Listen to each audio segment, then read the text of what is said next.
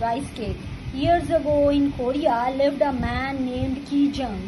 बहुत साल पहले कोरिया में एक बंदा रहता था उसका नाम था Kijung he was well known throughout his village because he love to eat rice cakes वो अपने आ, पूरे देहात में या गाँव में मशहूर था क्योंकि वो उसको केक खाना बहुत पसंद था only one person love rice cakes more than Kijung की जंग्स वाइफ कहते हैं एक और बंदा था जिसको की जंग से ज़्यादा राइस केक खाना पसंद था और वो कौन था?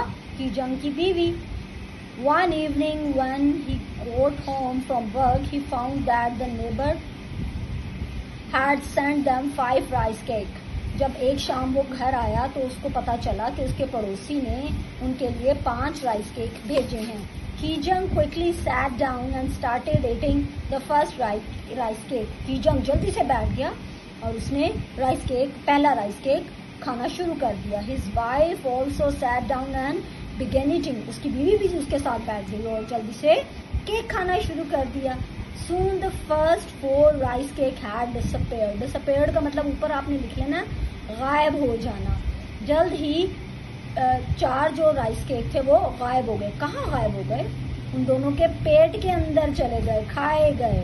And the fifth one was left on the table और पांचवा जो था, वो टेबल पर पड़ा रह गया Kijung and the fifth one was left on the table और पांचवा जो था, वो टेबल पर पड़ा रह गया Kijung and his wife look at it long and hard अब दोनों जो थे, उन दोनों की नज़रें किसके ऊपर थी? पाँचवें